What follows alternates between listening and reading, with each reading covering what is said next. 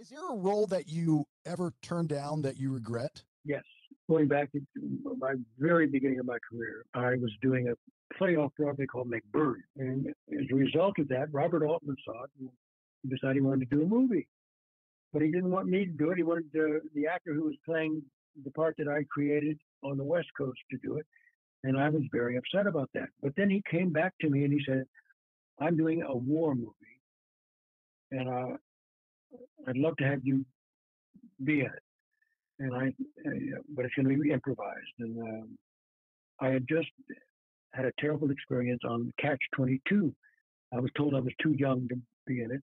So I was, I was not happy at this particular moment. And I turned it down. I turned it down. I could have been Donald Sutherland in MASH. Really? Yeah. Wow.